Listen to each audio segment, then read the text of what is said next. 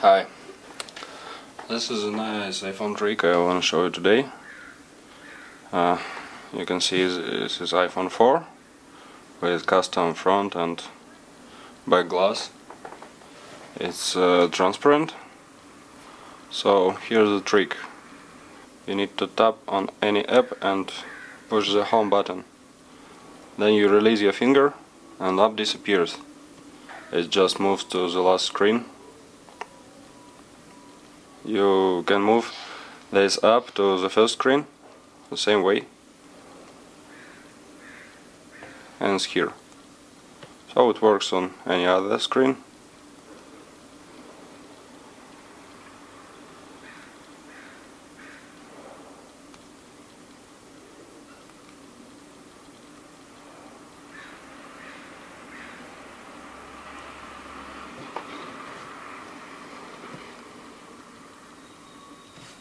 This is how it works.